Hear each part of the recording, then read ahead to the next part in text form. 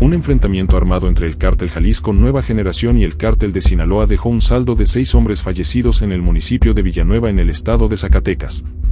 La vocería de la Mesa Estatal de Construcción de la Paz informó que los hechos se registraron la tarde de este martes en la comunidad Boquilla del Carmen. Personal adscrito a la Fuerza Rural de la Secretaría de Seguridad Pública de Zacatecas arribaron al lugar de los hechos, los uniformados confirmaron que se trató de un enfrentamiento armado entre los dos grupos del crimen organizado antagónicos.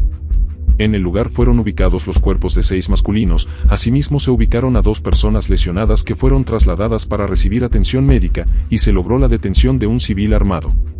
Además en el lugar fueron aseguradas al menos cinco armas de grueso calibre, una granada, equipo táctico y otros indicios.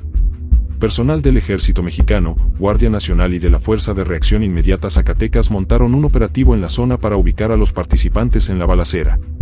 Durante el operativo implementado por las fuerzas de seguridad se localizó un campamento utilizado por un grupo delincuencial, el cual fue destruido para evitar su reutilización. Respecto al enfrentamiento suscitado el día de hoy, no se trata de un evento aislado pues la confrontación entre ambos carteles del narcotráfico que comenzó en 2020, cuando el cártel liderado por el Mencho le declaró la guerra públicamente al Mayo Zambada, continúa en la actualidad. La operativa MZ del cártel de Sinaloa de la facción del Mayo Zambada y el cártel Jalisco Nueva Generación liderado por el jardinero, mantienen constantes enfrentamientos en esa entidad, tal y como se constata en los videos que difunden en las redes sociales.